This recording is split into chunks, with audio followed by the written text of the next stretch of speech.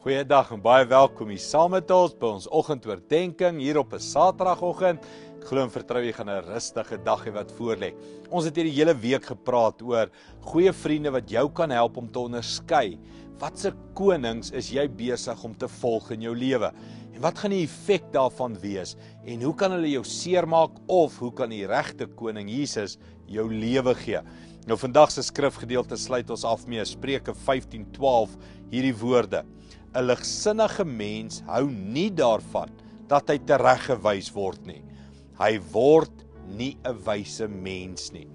En is so belangrik hier waarmee ons afsluit iets van uh, 'n dwaas hou nie daarvan dat 'n vriend of dat 'n vriendekring of sy vrou of iemand vir hom sê daai koning in jou lewe gaan jou seermaak nie.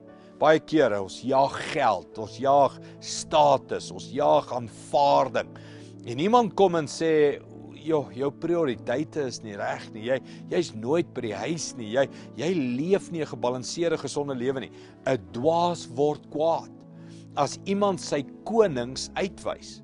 'n Wyse persoon sê, "Dankie."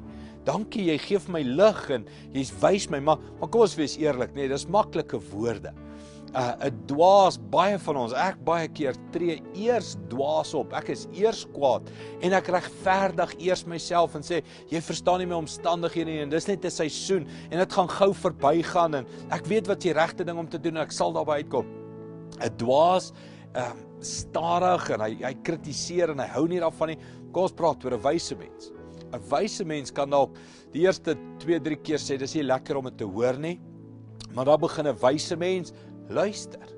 En 'n wyse mens sê, weet jy, my vriende is lief vir my, my vrou is lief vir my, my kollegas, mense om my, my predikant, die preek wat ek hoor, die skrifte wat ek lees, dis liefde wat wil inpraat in my lewe. Hulle sien 'n verwoestende koning in my lewe raak. So die so die groot vraag is, uh, ek wil nie eintlik weet die eerste keer as jy kritiek hoor, sê jy dadelik ja, o, dankie, dis pragtig. Dankie vir jou. Ek weet elkeen van ons is eers op 'n paadjie van selfregverdiging, verduideliking. Maar my eintlike vraag is, kom jy eventually by die waarheid uit? Nadat jy bietjie stil geword het, geworstel het daarmee, gebid het daaroor wat jou vriende sê, wat jou vrou sê, wat mense in die kerk die Bybel sê, en nadat jy stil geword het en gebid het daaroor, is daar genoeg wysheid in jou om te sien dat dis eintlik woorde van liefde.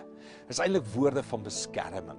Is daar genoeg wysheid in jou om stil te word en dankie te sê dat die Here jou gewaarsku het dat iets is besig om hand uit te ruk in jou lewe.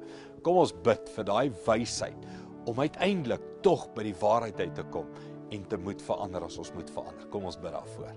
Hemelse Vader, baie dankie. Elkeen van ons, ons hou nie van kritiek nie.